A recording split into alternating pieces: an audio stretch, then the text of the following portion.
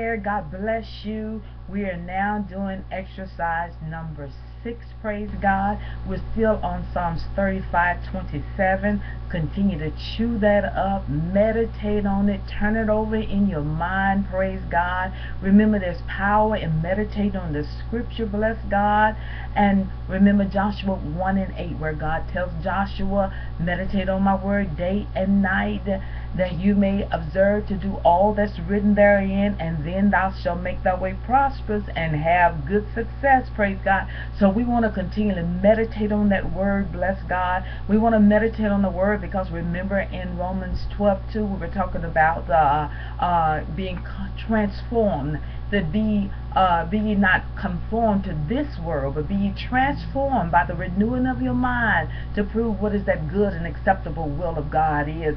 That means God wants us to so have our minds renewed that we think like He thinks, praise God, that we agree with what He agrees with, and that it is not strange that God should bless us. So we want our whole house in unity, the whole house in unity, agreeing with the word of the Lord. So we want to stay meditating that Psalms uh, 1, I believe it says, uh, uh, meditate in my word a day and night, that you be like a tree planted by the rivers of water, praise God. Another thing, meditation takes you to the stream of water, and water will flow out of your belly, praise God. And also, we want to remember that we're to go and commune with the Holy Spirit. We are to acknowledge our teacher, the Holy Ghost, who will lead us and guide us and teach us all things and bring all things to our remembrance and show us things to come. We are to acknowledge His presence within our walls, praise God. Our body is His temple, and we are to tap into that realm of the Spirit, tap into that river of living water,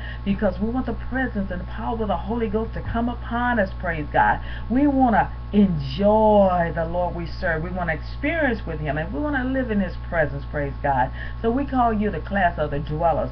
Why? Because of Psalms 91, our first exercise we did. He that dwelleth in the secret place of the Most High shall abide under the shadow of the Almighty. We decree and declare that you are dwellers. You are those that dwell in His presence. You are those that dwell in the glory zone. You carry a special aroma. You carry a specific flavor, praise God. And we bless God for you. So don't forget, as always, please sign up. We want to know who we're praying for. God bless you and work it out. Exercise number six. This is the day.